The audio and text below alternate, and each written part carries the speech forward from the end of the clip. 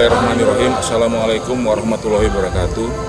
Saya Mayor Jenderal TNI Irwansyah, Pangdam 1 Bukit Barisan, beserta keluarga besar Kodam 1 Bukit Barisan mengucapkan Dirgahayu ke-65 Polisi Lintas tetaplah menjadi pengayom, pelindung, dan pelayan masyarakat yang dapat diandalkan. Dirgahayu Polisi Lalu Lintas maju terus. Wassalamualaikum warahmatullahi wabarakatuh.